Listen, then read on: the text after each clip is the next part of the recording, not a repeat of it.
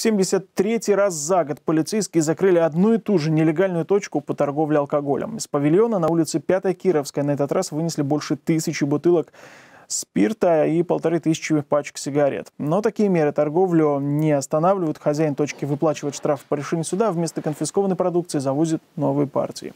Торгует в павильоне, конечно, нелегально. Хозяин дома не зарегистрирован как предприниматель и не имеет лицензии.